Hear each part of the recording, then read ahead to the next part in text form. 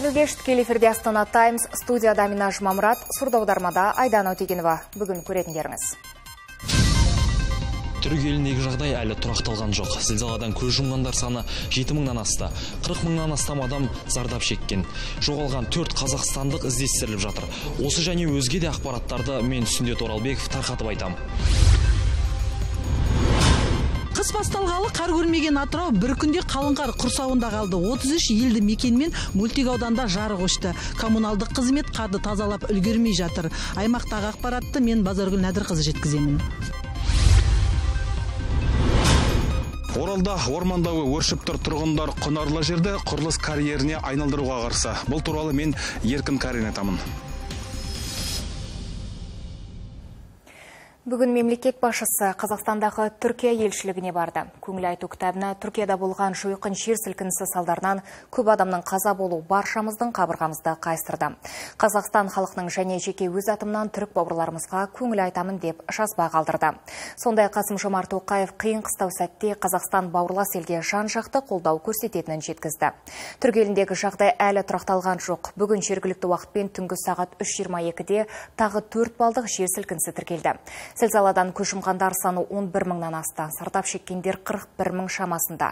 Төрт қазақстандық жоғалып кеткен, қазір оларды іздестіру жұмыстары жүріп жатыр. Толығырақ тілшіміз Сүндет Оралбеков айтады. Түркияның Газиантеп қаласынан ұшып шыққан арнайы рейспен 18 азамат елге оралды. Түрік еліне құтқарушыларды апарған ұшақ бос қайтпай, елге оралуға ниеттенгендерді ала келді. Оның 16-сы қазақстандық, екеуі қырғыз азаматы. Ғимараттар вообще құлап кетті сол ғимараттың астында қалып кеткен менің коллегам бар. Сол бүгін кешке өлі денесі табылды оның үш сөзбен айтып жеткізе аламын. Біріншісі түсінбеу түсінбейсің не болып жатқан. Екіншісінде қорқыныш өзіңнің өміріңе және жолдасыңның өміріне және жақындарыңның өміріне. Үшіншісі соны қабыл етесің. Жердің сілкініп жатқанын сезгеннен кейін өзімнің жанымда жатқан қыздарымды көршілерімді оятып эвакуацияға дайындала бастадым. Және де мен төсектен тұрған уақытта менің ә, жатын жатқан кроватимнің қабырғасы менің кроватима ә, құлап түсті түгелдей. Мен ә, документтерімді қымбат қымбат заттарымды шығарып ә, біз астыңғы қабатқа түсіп қыздармен аман қалдық. Жер сілкініс кезінде төрт қазақстандық із түссіз жоғалып кеткен. Оның үшеуі хатай қаласында біреуі адана қаласында болған. Алмат құрмашев та бауырын таба алмай жатқандарын айтады. Мы сутки искали пытались э, с ребятами найти все біз бауырымызбен зілзаладан кейін бір тәулік бойы хабарласа алмадық. Енді өзім іздеп барамын бәрі жақсы деп ойлаймын. Апат кезінде телефоны сынып немесе жоғалып кетуі мүмкін. Сол үшін бізбен хабарласа алмай жатыр деп үміттенемін. Бүгін анадолы еліне көмек қолын созу үшін құтқарушылардың екінші тобы ұшты. Бортта төтенше жағдайлар министрлігінің құтқарушылары апаттар медицинасы орталығының дәрігерлері кинологиялық топтар бар. Ал қазақстандық құтқарушылардың алғашқы легі түркияның ибрахимили ауданында іздестіру құтқару жұмыстарымен айналысып жатыр. Олар екі топқа бөлініп ең қиын учаскелерге аттанған. Біз түркия еліне жіберген мамандар тобын күшейту туралы шешім қабылдадық. Ол жайлы мемлекет басшысы мен үкіметке хабарладық. Нәтижесінде міне бүгін тағы елу алты адам жіберіп жатырмыз. Олар барлық қажетті құрал жабдықпен қамтамасыз етілген. Қажет болса олар өзіміздің құтқарушыларға жәрдем бере алады. Сондай ақ бортта жеңіл жедел құтқару техникасы да бар. Мемлекет басшысы қасым жомарт тоқаев бауырлас түрік еліне көмек ретінде 1 миллион ақш долларын бөлуді тапсырды. Сондай ақ еліміздің өкілетті органдары түрік тарапымен бірлесіп зілзаланың зардабын жою үшін қосымша көмек көрсету мәселесін қарастырып жатыр. Қазақ халқы түрік халқы бауырлас халық сондықтан әрқашанда бірге боламыз бірге бұл қасіретті міндетті түрде. Еңсереміз түркияның қазақстандағы төтенше және өкілетті елшісі уфук екиджи қазақстанға көмек үшін алғысын айтты. Бұл ярдым cevap verebilmek için de ayrıca қазақстандық бауырларымыздың алғашқы сәттен ақ жауап қайтарып жан жақты көмек көрсетуге дайын екенін айтқаны бізді қуантты. Қазақстан республикасының президенті қасым жомарт тоқаевқа және қазақстанның басқа да мемлекеттік органдарына қолдаулары мен тілектері үшін алғысымды білдіремін. Қазақстандағы түркия елшілігі арқылы қазір үш жерде көмек қабылданып жатыр. Сондай ақ ел аумағындағы өзге де өкілдіктерде көмек жинау орындары ашылды. Елші азаматтарды тек ресми ақпараттарға сенуге шақырды. Сүндет оралбеков олег федоров астана таймс. Анадола елінде зілзаладан зардап шеккендерге халықаралық түрксой ұйымы да көмектесуде. Арнайы шатыр тігіп үй күйсіз қалғандарды орналастырмақ. Шылы киім асауқатпен қамтамасыз ет. Газиантеп қаласындағы жағдайды Қазақстанның халықаралық түрксой ұйымындағы өкілі Бақытжан Умар баяндап береді. Біз қазір газиантеп қаласындамыз. Зілзаладан ең көп зардап шеккен аймақтардың бірі. Бұл жақта да төрт жүзден аса ғимарат қираған тазалану өзінде әрине адам шығындары да бар. Халықаралық түрксой ұйымының ұжымы болып біз бүгін таңертең осы қаласына жеттік. Қазір бекент деген аудандамыз. Міне артыма қарасаңыздар мына үйлердің бәрінде қазір тұрғындары сақтық шараларына байланысты үйлерін тастап көше кезіп жүр түрксой ұжымы бұл жақта бірнеше аймақтардан елдерден келген волонтерлар бар. Міне мынадай шатырлар құрып жатырмыз. Қазір азанда басталған шара кешке дейін бітеді. Жалпы 450 шатыр құру біздің жоспарымызда бар. Қаладағы ахуал бір қалыпты қазір үйінділердің астында әлі де адамдар жатыр дейді. Осы сала мамандары құтқарушылардың айтуы бойынша бұл мәлімет. Алапат зілзаладан кейін әрине күнде дүмпулер жатыр. Күн бір күнде бірнеше рет болып жатыр. Енді қатты емес әрине бірақ үш төрт ары кетсе бес балл шамасында халықта үрей бар осы газентеп қаласында бір айта кететіні қазақстаннан келген алғашқы құтқару тобы және дәрігерлеріміз осында күні түні жұмыс істеп жатыр. Түрік ағайындарымызға көмектесіп жатыр. Бізде түрксой ұйымы болып біраз көмек жасап жатырмыз. Яғни тұрғындарға қажетті нан су балаларға қажетті балалардың киімдері жылы киімдер көрпелер жастықтар әкеліп жатырмыз. Тек қана біздің ұйым емес жалпы бүкіл әлемнен бұндай көмектер түсіп жатыр. Билік өкілдерінің айтуынша жағдай қашан тұрақталатыны әзірге белгісіз. Елімізде 14 өңірді су басу мүмкін. Оның ішінде шығыс Қазақстандағы бұқтырма су қоймасында қауіп жоғары. Бұл экология және табиғи ресурстар вице-министрі Азитулин Қалидулла мәлімдеді. Оның айтуынша бұл болжам, бірақ су тасқының алдын алу үшін су тораптары тексеріліп жатыр. Республика аумағында 1806 тірек гидротехникалық құрылыс бар, оның 471 жөндеуді талап етеді топырақтың күзгі ылғалдылығын топырақтың қату тереңдігін қарастыра отырып су тасқыны қауіпті аймақтары алдын ала баға берілді. Жоғарғы қауіпте облыс еліміздің қарағанды ақмола солтүстік қазақстан қостанай шығыс қазақстан абай ақтөбе батыс қазақстан атырау алматы жетісу жамбыл түркістан облыстары. Орташа қауіпте павлодар ұлытау маңғыстау және қызылорда облыстары. Атырауда бір тәулікте бір айлық мөлшердегі қар түсіп, қала толықтай қар құрсауында қалды. 33 елді мекен мен мөлтек ауданда жарық өшті. Әлі де электр энергиясыз отырғандар бар. Өңірден Пазаргүл Надырғызы. Автокөлік жолы тазаланбағандықтан бірнеше бағыт бойынша қоғамдық көлік тоқтады. Республикалық маңызда Атырау Ақтөбе трассасындағы көлік қозғалысына уақытша шектеу қойылды. Мектеп пен колледж онлайн оқуға көшті. Үйдің іші ұлып тұр. Балалар үйде курткімен отыр. 10-12 сағатқа дейін жарық болмағандықтан жылу қуаты да төмендеп тұрғындар жылынар жер таппай қалды. Қаладағы коммуналдық қызмет күшейтілген режимде жұмыс істегенімен үлгермей жатыр. Қалтарыс көшелер мен жаяу жүргіншілер жолын айтпағанда негізгі автокөлік жолдары тазаланып біткен жоқ. 78 техника мен 300 жұмысшы қала көшелерінен 2000 шаршы метр қар шығарған. Алайда әлі де әрбір жерде қарға батқан көлік көп. Жаяу жүргінші жүретін жерде мүмкіндік жоқ жүру. Омбығып жүрміз. Мүлдем жоқ дайындық. Біздің әкімшіліктер жұмыс жасамайды. Сөздің шыны керек.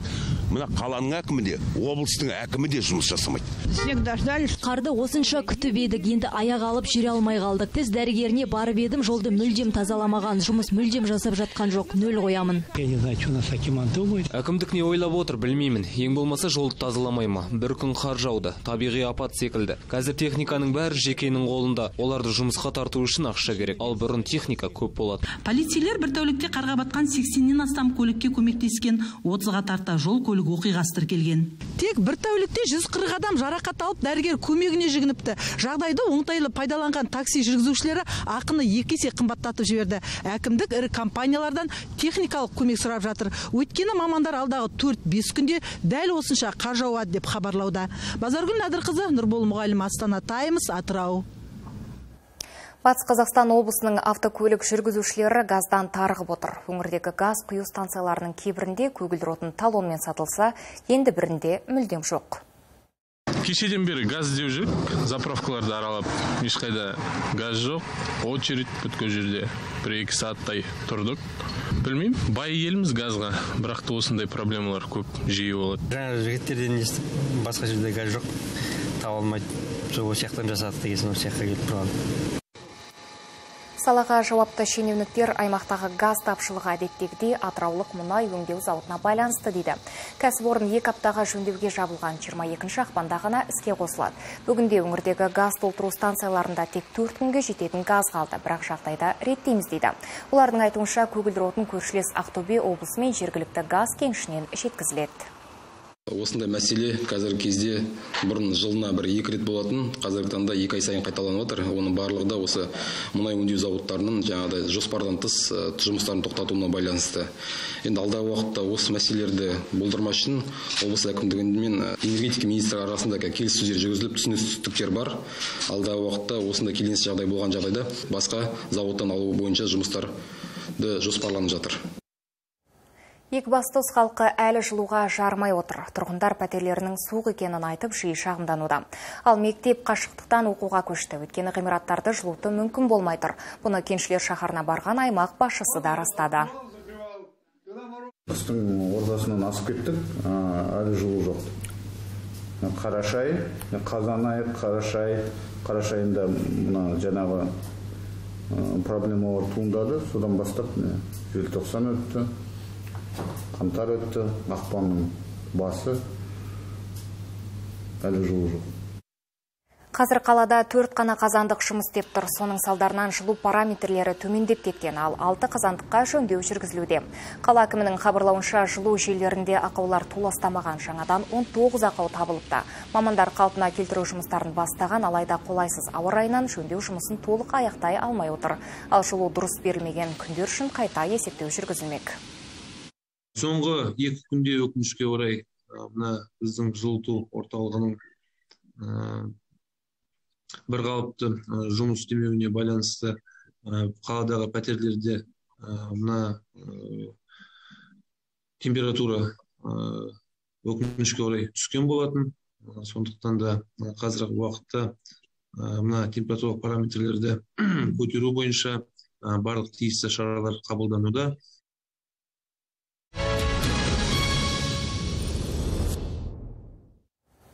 Қазақстандықтардың зейнетақы шоттарында жеткілікті шектен асып тұрған барлығы 600 миллиард теңге жиналған. Айта кетейік, екі жыл ішінде салымшылар қордан түрлі себептермен 3,5 триллион теңге алған еді. Қаражаттың 90%-тен астамы тұрғын үй жағдайын жақсартуға, ал қалғаны емге жаратылған. Ал ешқандай қажеттілігі болмаған азаматтар қордан артылған ақшаларын қаражатты басқарушы компанияларға аударды. Енді мұндай мүмкіндік барлық қазақстандықтарға берілмек. Салымшылар жиналған қаражаттың жартысын жеке компанияларға инвестициялар алау үшін арнайы заң жобасы әзірленуде. Мы предполагаем расширить возможности. Біз қазақстан аумағында зейнетақы активтерін басқару бойынша шетелдік басқарушылардың мүмкіндіктерін кеңейтуді көздеп отырмыз. Ең маңызды критерий менеджерлердің рейтингі болады яғни инвестициялық несиелік рейтинг. Басқару рейтингі және оның нарықтағы беделіне баса назар аударылады. Әлеуметтік желіні ашсаң, үйде отырып ақша тап, оператор керек студенттерге жұмыс деген жарнама жетеді. Жұмыс ұсынушылар сондай-ақ жұртты мол табыспен еліктіріп қояды. Солардың біріне әріптесім Дәрбек Бақытбек хабарласып көрді. Олар ақшасы көп, ісі жеңіл қандай жұмыс ұсынды? Көрейік. ғаламторды ашсаң жұмыс бар табысы мынадай екі күн істеп екі күн демаласың деген сияқты жарнама көп солардың біріне мен де қазір хабарласып көрем ол не деген батпан құйрық бірге білеміз. Алло. Алло сәлеметсіз бе? Жұмыс бойынша хабарласып тұр едім аха жасыңыз нешеде жиырма екіде. Аха хорошо міндетім сіздің телефондарға жауап беріп заказ заявка қабылдаймын базамен жұмыс жасаймыз қазақша түрде қашан бару керек? Бүгін келсеңіз болады сағат алтыға жұмыс ұсынушы мені бірден сұхбаттасуға шақырды. Еш қарсыласпай бардым. Сіздің функцияңыз қоңырауларға жауап беру заявкаларды қабылдау whatsapp бойынша жауап беру. Оплата біріншіде примерно екі жүз елу мың теңге көлемінде болады. Күндік табыс бар. Бес алты жеті сегіз он мыңға дейін алуға болады. Іште мен секілді жастар толып жүр. Қолдарында ақпарақ. Не барын қайдам? Көре алмадым есесіне осы жұмыстың құрбаны болған қала тұрғыны елнұра ол туралы айтып берді жұмыс бар дегеннен кейін көрейін деген бірақ ол алдын ала төлем сұрады да.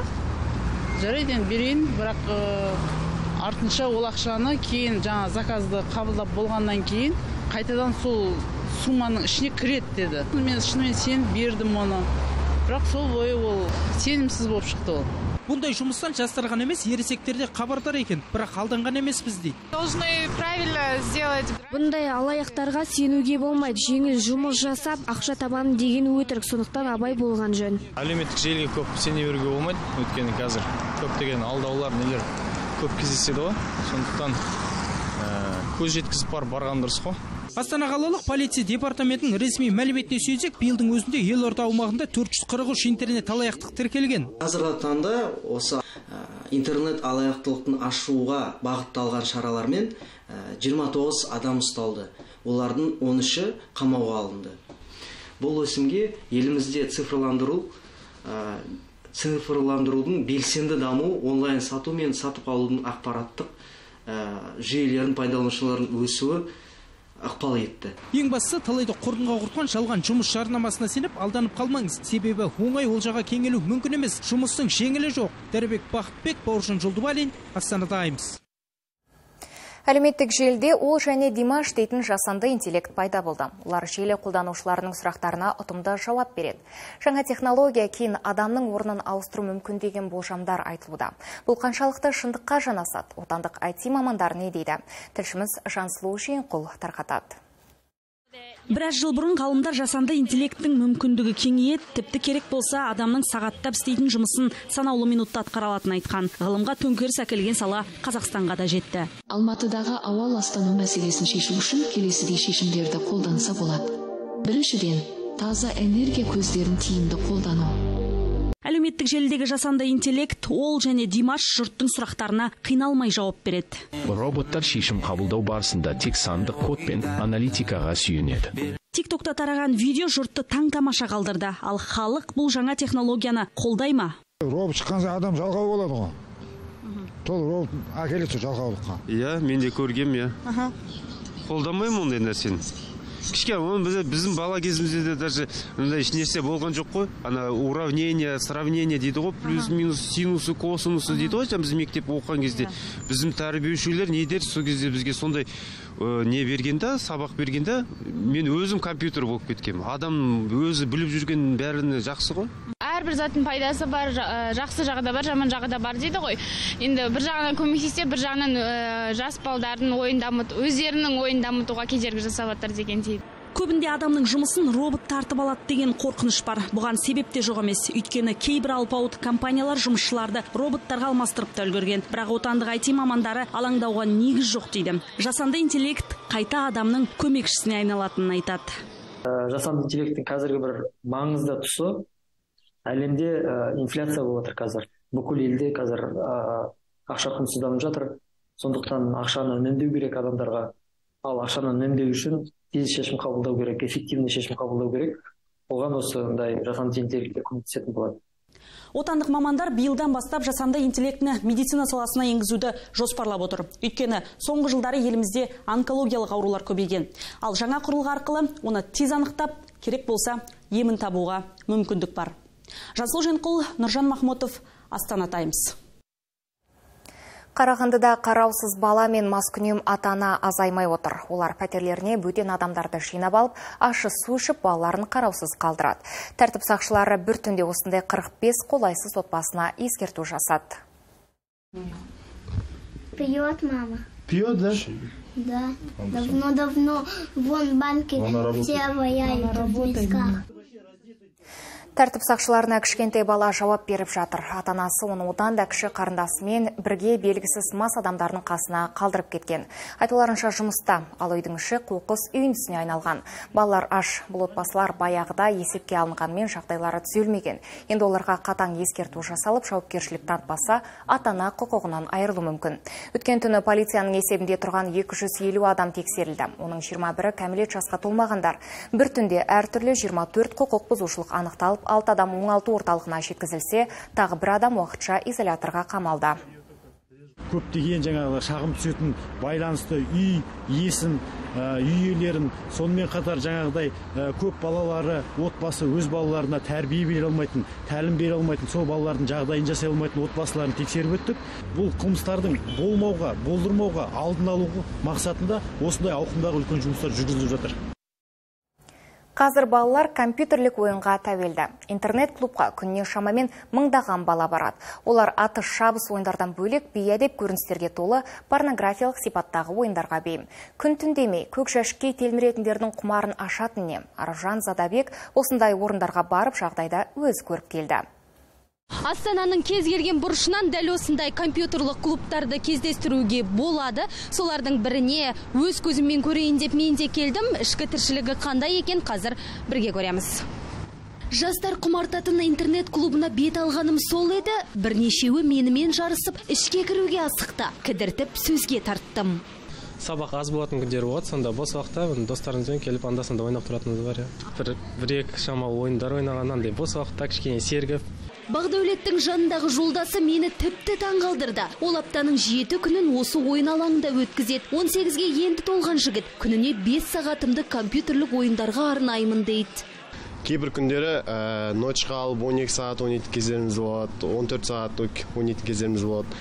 Даже кейбір күндері өзіміздің балдармен келіп бір күн ойнайтын кездеріміз де болады. Хош жүз рет айтқанша бір рет көрейін деп клубқа мен де кірдім. Міне көріп тұрғандарымыздай іш лық толы барлығы экранға телміріп отыр. Байқағанымыз мұнда отырғандардың дені жастар тіпті кәмелетке толмаған балалар да бар. Ішке кіре сала көк түтінге уланып қала жаздадық. Көргеніміз қап қараңғы жер қолына бір бір энергетикалық сусын ұстаған жастар. Құдды бір өзге әлемге түскендей күй кешесің. Мұнда жиналған балалардың бір біріне қарауға шамасы жоқ барлығы ойынға кіріп кеткен. Кешіріңіз қандай ойын ойнап отырсыз? Қызық па? ә, бұл counter strike ойыны. Қанша уақытқа кірдіңіз осының ішіне? Қазір бес сағатқа кірдік. Бес сағатқа? Иә. Аха. А бес сағатқа қанша теңге төледіңіз? Бес сағатқа біз үшеумізге общий төледік. Мысалға үш сағатымыз бізде мың теңге болды. Мың сегіз жүзден үшеуміз бес мың төрт жүз теңгеге кірдік. Біз барған компьютерлік клуб әкімшісінің өзі. Бұл жерге кәмелетке толмаған балалар жиі келетінін мойындады. Бірақ камераға түсуден бас тартты. Егер 18-ге толмаған жеткіншек түнгі уақытты осында өткізсе қандай жауапкершілікке тартылады? Қазақстан республикасы әкімшілік құқық бұзушылық туралы кодексінің 442 бабы екінші бөлігіне сәйкес жасөспірім яғни кәмелетке толмаған тұлғалардың заңды өкілінсіз қоғамдық орындарда түнгі 11.00-ден кейін жүріп тұруына тыйым салынады. Аталған бап бойынша астана қаласы полиция департаментінің ювеналды полиция қызметкерлері 2022 жылда 3514 ата ананы жауапкершілікке тартса 2023 жылдың басынан 153 ата ана жауапкершілікке тартылды. Компьютерлік ойындардың зияны туралы айтылып ақ келеді. Алайда бұған мән беріп жатқан ата ана жоқ дейді қоғам белсендісі. Бала деген ол қарамасаң бала кетеді деген сөз бар ғой. Бала деген ол бір ағаш сияқты егер дұрыстап қарамасаң ол қисық өседі. Сондықтан бала өз бетімен қалмау керек та. Оған әрдайым бағыт бағдар беріп үнемі қадағалауда болу керек. Белсенділер компьютерлік ойындардың соңы құмарлыққа алып келеді дейді. Ал құмарлықтың өрісі кеңейсе қылмыс көбейеді. Аружан задабек бауыржан жолдыбалин астана таймс Батыс Қазақстан облысының тұрғындары өзен алқабындағы орман тоғайды сақтап қалуды сұрап отыр. Олар жергілікті биліктен күдер үзгендерін айтады. Тұрғындардың ашулануына сирек кездесетін ағаштар өсетін аумақтан құрылысқа қажетті топырақ өндіретін кеніштің ашылуы түрткі болыпты құрылысқа қажетті құм мен топырақ өндіретін карьер ашуды көздеген кәсіпкер өзен жағасынан 18 гектар жер алған. Бұған қарсы шыққан халыққа экологтар мен қоғам белсенділері де қосылды. Тұрғындар осы орманға малын жайғаны үшін айыппұлдан көз ашпайтынын айтады. Местные жители крайне возмущены жергілікті тұрғындар карьерге қарсы. Өйткені олардың бұл жерде мал жаюына рұқсат берілмеген. Бірақ орманды отауға қарсы емес. Халық осыған түсінбейді. Енді тұрғындар петиция жазып өзен жағасындағы тоғайларда шаруашылық ашуға мораторий енгізуді сұрамақ ниетте. Өйткені аз уақыттың өзі табиғатқа үлкен көмек. Тұрғындардың айтуынша қазылған аумақтан үлкен шұңқыр пайда болып алынған топырақ пен құмның орнына мынадай түрлі қоқыстар төгіледі. Бірақ бұдан табиғатқа келетін зиян орасан өйткені бұл аумақта сирек кездесетін өсімдіктер мен көп жылдық ағаштар өседі. Бұл дау кейін сотта жалғасып ақырында кеніш ашуға келісім берілген. Шенеуніктер мұны заңға сай деп отыр. 18 гектар жердегі карьерді өндіруге түскен өтініш бойынша ол э, судебный жұмыстардың бәрі аяқталды. Бүгінде екі жақты бітімге келді. Талапкер өз талаптарынан бас тартады. Жауап э, беруші жауапкер э, орал мемлекеттік мекемесі э, жер таңдау актісін келісімдеп беруге келісімдеген болатын. Бүгінгі таңда бұл талаптардың бәрі орындалды. Экологтардың айтуынша кеніш қазылған жер құнарынан айырылып өзен суалады. Ал мұның соңы экологиялық апатқа тіреледі дейді. Надо поддержать э, значит, решение экология геология және табиғи ресурстар министрлігінің жайық резерватын құру туралы шешімін қолдаймыз. Өйткені табиғат қорғау аймағындағы көптеген орман тоғайлар бүгінде жекенің меншігіне өтіп кеткен. Сондықтан оларды тексеріп кері қайтару керек. Егер біз онсыз да аз орманнан айырылсақ жеріміз қу тақырға айналады. Сондықтан өзен алқабындағы барлық орман тоғайға айрықша қорғалатын аумақ мәртебесі берілуі тиіс. Дегенмен өңірде орманға балта сілтегендер азаяр емес. Былтырдың өзінде осындай 850 дерек анықталып 1 миллион теңгедей айыппұл салынған. Сарапшылар мұны болдырмау үшін заңды күшейтіп кінәлілерді қылмыстық жауапкершілікке тарту керек дейді. Еркін карин алтынбек қабделов астана таймс орал. Көп күттірген көгілдір отын, ауызсу мәселесі, нашар телефон байланысы. Өзге де өзекті түйткілдер ауыл тұрғындарын титықтатқан. Амал таусылған ағайын Астана арнасына жүгініп, ауылдың ахуалын жеткізді. Қостанай шаһарынан 25 шақырым жердегі елді мекен жұртының талап тілегін тілшіміз заңғар санай тыңдады. Рыбное деген аты бөлек ауыл облыс орталығынан небәрі 25 шақырым жерде елді мекенде елуге тарта түтін бар. Мұндағы тұрғындарда бірнеше проблема толғандырады. Газсыз қиын ғой көмір сатып аламыз отын сатып аламыз? Газопровод жиырма бесінші жылға обещать етіп отыр. Соны күтіп отырмыз. Көрші ауыл көгілдір отын игілігін көріп отыр дейді көпшілік. Газ құбыры небәрі бір жарым шақырым жерде жатқан көрінеді. Шағын елді мекен тұрғындары телефон байланысының нашар екеніне де шағымданады. Интернет түгілі шеттегі туған туыспен тілдесе алмай қаламыз дейді. Жуықта ғана германиядан кері көшіп келген. Любовь кольцева. А вот так и бегаем с телефоном. телефонмен аула кезіп кетеміз. Жөнді байланыс ұстайтын жерді іздеп әлекке түсеміз. Көрші ауылда байланыс мұнарасы көп. Бізге неге қоймайтынын түсінбеймін. Ауылда е- бір екі ақ құдық бар олай ішетін су и то ішуге онша емес бірақ енді амалсыздан ішіп отырмыз сол. Басқасында каждый үйінде құдық бар мал суаратын технический дейді ғой солай айтуға болады. Басқа денше олай алты ай сайын қайта қайта тазарту керек. Өзіміз насос қойып қойдық былай шелекпен немен тартып алмау үшін. Тұсында 200-ге тарта ірі қара 300 ұсақ мал ұстаған ауыл тұрғындары қазір төрт түлік санын азайтқан. Тіпті кейбіреуінің қорасында тұяқ қалмаған. Жайылым жер болмаған соң малдан күдер үзгенін айтады. Баяғы көп мал ұстаған мен өзі бір отыз қой ұстағам бір он шақты қара мал ұстағам жылқы ұстағам қазір мынау жердің несі вопросы болғанда мынау бағатын жер жоқ шабатын жер де жоқ қазір көбісі. Сол үшін малды алып тастадық біртіндеп бұл жерге де газ тартылады деген э, енді неміз бар үмітіміз бар біздің. Газ тартылса әрине бәрі жақсарады су да болады. Ал биылғы жылы именно осы жиырма үшінші жылы осы рыбный негізінде рыбный ауылына ауыз сумен қамтамасыз жоспарда бар. Телефон байланысының түйткіліне қатысты операторларға өтінім берілген. Жайылым жер мәселесі де шешімін табады. Шаруалармен меморандум жасасып жайылымның аумағын кеңейтеміз деп сендірді ауыл әкімі. Заңғар санай қайрат елеусізов астана таймс қостанай облысы.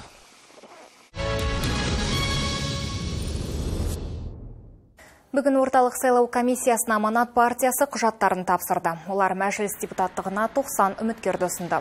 Құжаттарды өткізуге атқарушы хатшы Елнұр Бейсенбаев жақтастарымен бірге келді. Бүгін Аманат партиясы орталық сайлау комиссиясына ә, кешегі біздің өткен съездің қорытындысы бойынша өзіміздің партиялық тізім бойынша өкілдерімізді тапсыруға келдік. Кеше съезде 2000-нан астам азамат қатысты. Бүкіл еліміз бойынша біз барлық деңгейдегі маслихаттарға 3821 кандидаттың тізімін, сондай ақ мәжіліске 119 азаматтың тізімін ұсындық. Оның ішінде бүгін орталық сайлау комиссиясына 90 азаматтың партиялық тізіммен келіп ұсынып отырмыз. Орталық сайлау комиссиясына бүгін республика партиясы да құжаттарын тапсырды. Олар мәжіліс депутаттығына 25 үміткерді ұсынды, оның 8-і әйел. Бұған дейін орталық сайлау комиссиясына 4 партия Ақжол, Жалпы ұлттық социал-демократиялық партия, Байтақ және Қазақстан халық партиясы құжат өткізген. Енді орталық сайлау комиссиясы оны тексеріп, үміткер куәлігін береді. Ал сайлауалды үгіт насихат жұмыстары 18 ақпанда басталады. Еуропадағы қауіпсіздік және ынтымақтастық ұйымы демократиялық институттар және адам құқықтары жөніндегі бюросы Қазақстандағы парламенттік сайлауды бақылау жөніндегі миссиясын бастады. Делегация құрамында 11 халықаралық сарапшы, 32 ұзақ мерзімді және 300 қысқа мерзімді бақылаушы болады. Олар науқанның барлық аспектілерін, соның ішінде әлеуметтік желілерді де жіті қадағаламақ. Ұйымның бақылауы мен есептеулері шынайы болу үшін қандай шаралар қабылданып жатыр деген сауалымызға Оуэн Мөрфи шалтарып жауап берді. Біздің миссияны қазақстан билігі шақырғанын өз кезегінде біз тәуелсіз бақылау жүргізетінімізді атап өткім келеді. Негізгі байқаушылар тәжірибелі сарапшылар болып есептеледі. Олар сайлау референдум мәселелері бойынша білікті мамандар. Біз бақылаушылар тобын республиканың әртүрлі аймақтарында орналастырамыз. Олар бір уақытта жұмыс істейтін болады. Мен еуропадағы қауіпсіздік және ынтымақтастық ұйымы парламенттік ассамблеясы туралы да айттым. Бұл бақылаудың тағы бір деңгейі парламенттік ассамблеямен бірлесіп сайлаудың алдын ала есептері туралы мәлімдеме жасаймыз және осы шаралардың барлығы сайлауалды бақылауды толық қамтуды қамтамасыз етуге бағытталған Мендегі жаңалықтар легі осымен тәмам. Әрі қарай Астана Таймс орыс тілінде жалғасады. Келесі кездескенше аман сау болыңыздар.